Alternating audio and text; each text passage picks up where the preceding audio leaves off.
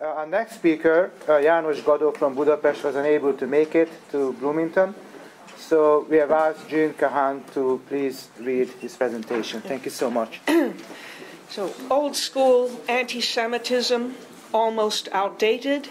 New school anti Semitism, not yet trendy. Attitudes towards Jews in Viktor Orban's semi authoritarian regime.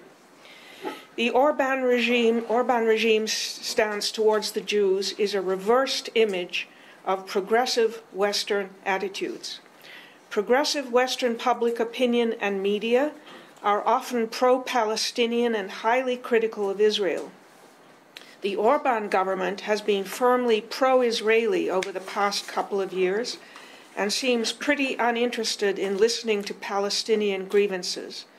Hungarian representatives, just like their Polish, Czech, Slovak colleagues, don't rush to condemn Israel in various UN bodies, often obstructing in this way the adoption of a unified European position. In progressive Western public opinion and the media, Holocaust consciousness is crucial. Progressive politicians bow their head to the victims of the Holocaust and basically recognize their nation's responsibility in the massacre of European Jewry. In Orban's Hungary, the memory of the Holocaust is very important, but it is not supposed to overshadow the grievances of the Hungarian nation in the past and in the present. Hungarian politicians bow their head to the victims of the Holocaust, but don't really recognize their nation's responsibility in the tragedy of European Jewry. However, in official messages to the Jewish community, they tend to admit the responsibility of the Hungarian state. The progressive West steps over the traditional 20th century religious national worldview, espouses 21st century multiculturalism, and regards the respect of the other as the core of its policy. This policy is supposed to be a safe haven for Jews who once, as the ultimate others, were victims of the vilest persecutions. Unlike in the progressive West, in Hungary, the other, mostly migrants, is considered as suspect, strange, frightening.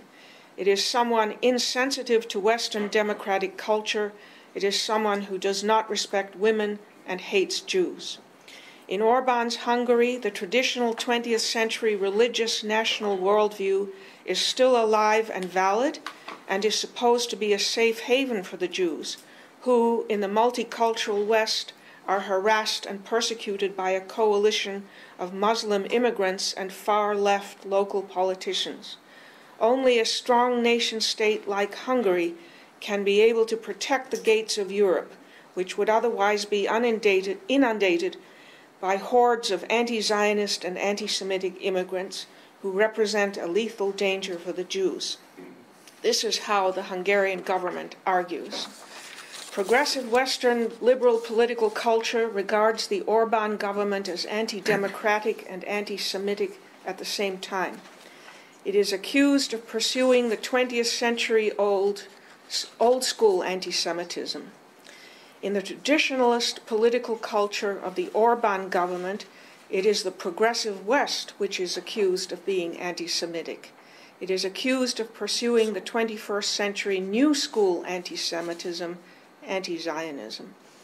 In the progressive West, the good Jew is the one who espouses multiculturalism and keeps his her distance toward the nat- traditional notions of the Jewish nation and religion.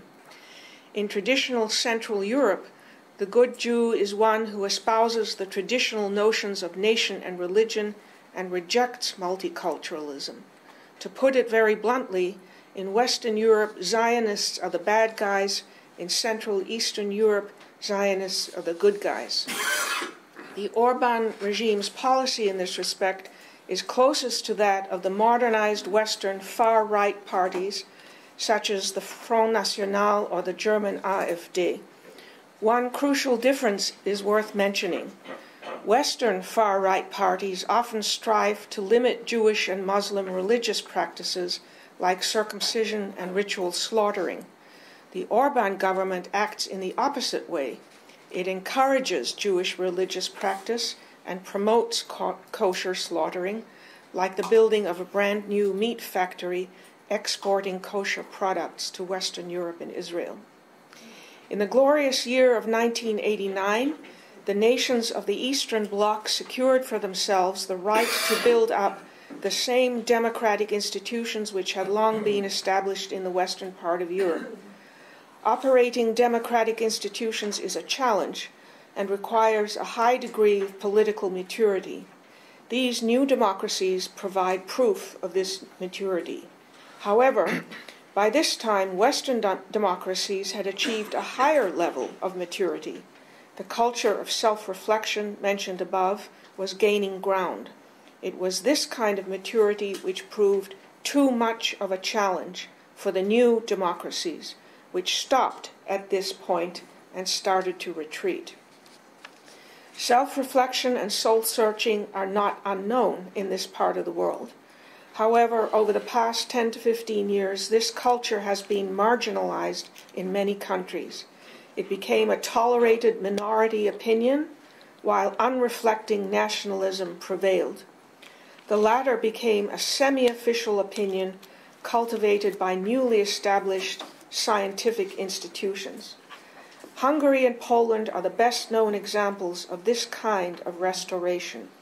Holocaust research is a highly advanced discipline in these countries, but its results are frightening to, for the nationalist mind. Collaboration or indifference toward the Jews in these countries during the Holocaust was much more common than selfless help. The venerated nation, allegedly itself a victim, proved to be very different. This disappointing picture is simply intolerable for the new ultra nationalist right which has come to power in these countries.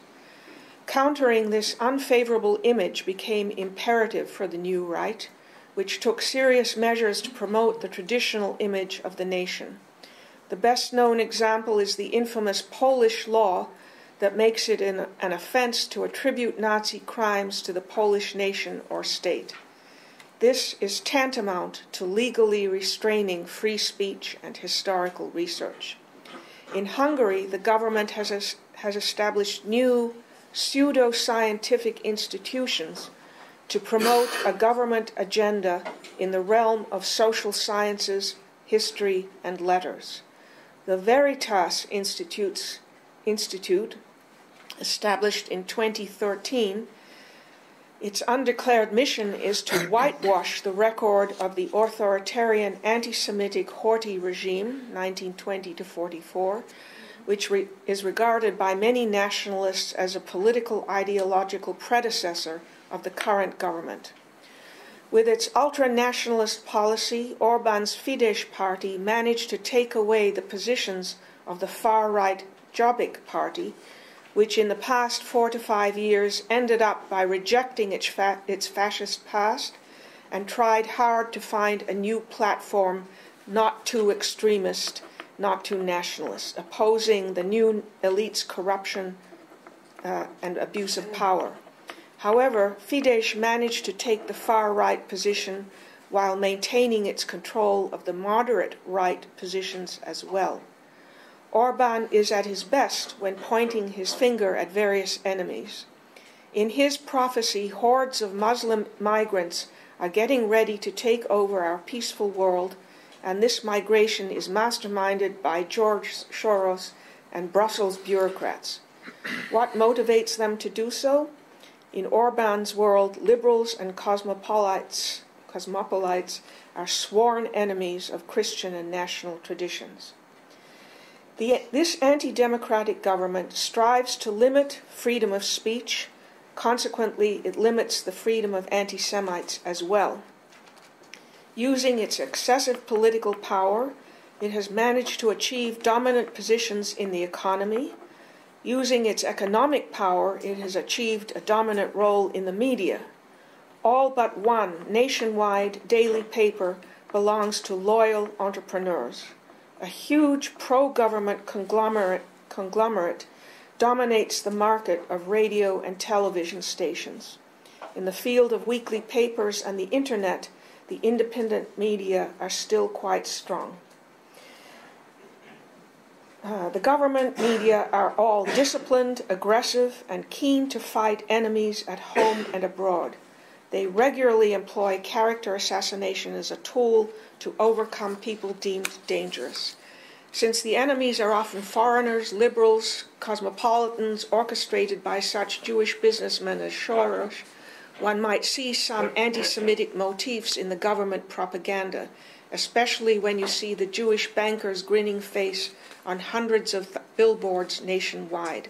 However, Viktor Orban declared several times that the government has a policy of zero tolerance towards anti Semitism. George Birnbaum, one of the masterminds of the anti Soros campaign, recently explained in an interview When we planned the campaign, we never thought for a second about Soros being a Jew. On March 15, 2018, some days before the general elections, Orban delivered a speech in which he stated the following We have to fight an enemy that is different from us, not open but hiding not straightforward but crafty, not honest but base, not national but international, does not believe in working but speculates with money, does not have its own homeland but feels it, owns the whole world. It is not generous but vengeful, and it attacks the heart, especially, especially when the heart is red, white, and green.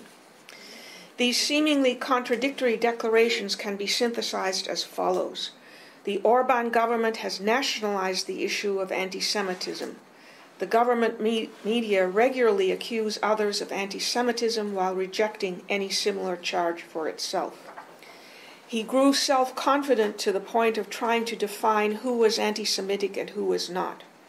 In this effort, the government media repeatedly pointed to the anti Zionism of the Western left liberal circles, blaming them for calling Israel an apartheid state.